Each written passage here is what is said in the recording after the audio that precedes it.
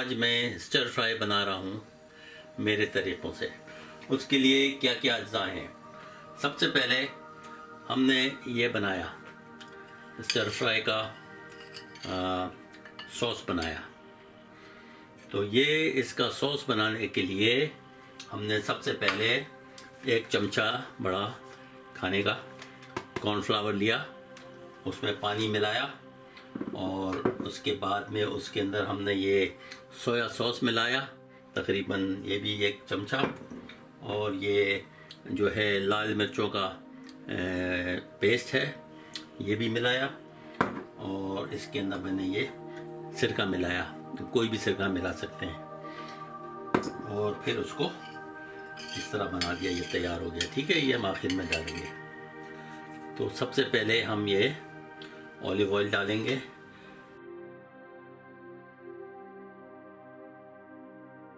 थोड़ा सा चार पाँच चमचा और चूल्हा ऑन कर देंगे।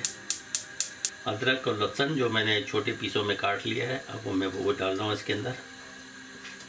ठीक है। तकरीबन एक मिनट के लिए हम इसको फ्राई करेंगे और उसके बाद में हरी मिर्च डालेंगे इसमें। एक मिनट हो गया है, अब इसमें मैं हरी मिर्च डालूँगा। और अब मैं इसके अंदर ये प्याज डाल दूँगा?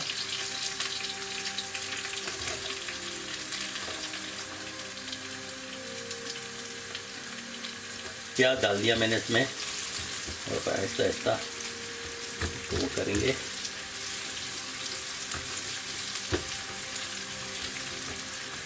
अभी मैं इसमें ये डाल रहा हूँ गाजर। और उसके साथ कैप्सिकम इज़ वेल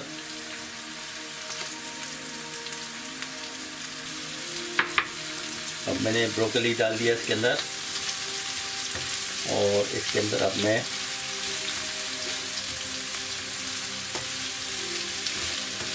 कॉलीफ्लावर डालूँगा।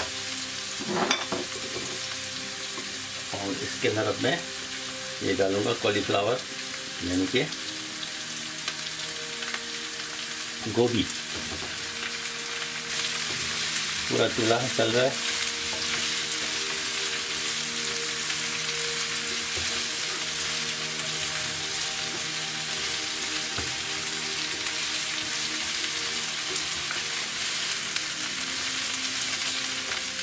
ये मकई है फ्रीज किया हुआ। अब ये मकई डाल दिया मैंने इसमें। अब इसमें मैं मशरूम डाल रहा हूँ।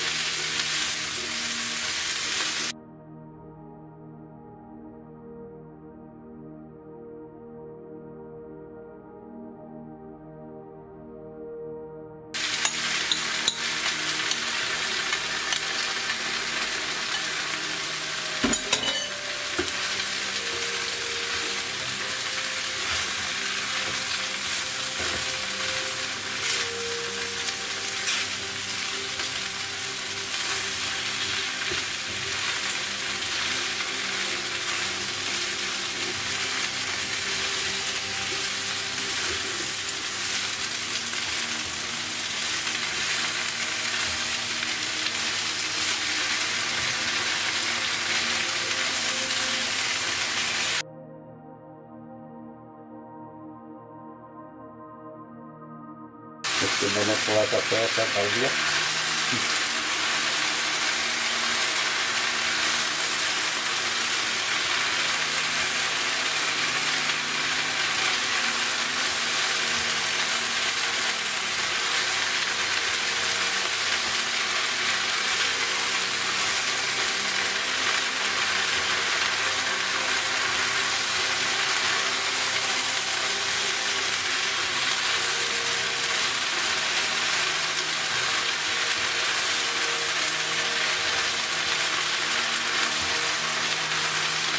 मैं इसको अच्छी तरह मिला रहा हूँ, थोड़ी देर के बाद फिर आता हूँ।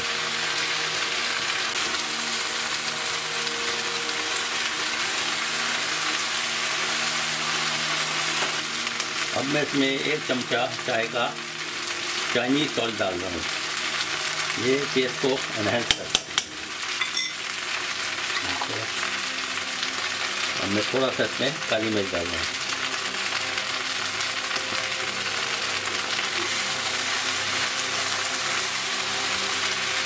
मैंने नमक इससे नहीं डाला, इसमें ये सोया सॉस में बहुत नमक होता है।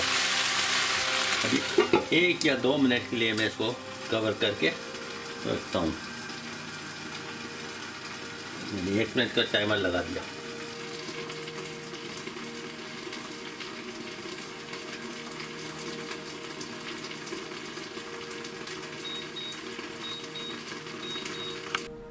अब ये तैयार हो गया है। अब आपको डिश आउट करके बताता हूँ। देखें कितना मज़े का है। और इसको अपने ख़ानदान वालों से, अपने बच्चे, अपने रिश्तेदार, दोस्तों के साथ शेयर करें। बहुत ही मज़े का है, बहुत इन्जॉय करेंगे। और अपने कमेंट्स भी बताएँ मुझे। और उसके अलावा सब्सक्राइब भी करें प्लीज़ ताकि आइंदा मैं आपको और मज़ेदार रेसिपीज़ भेज सकूँ।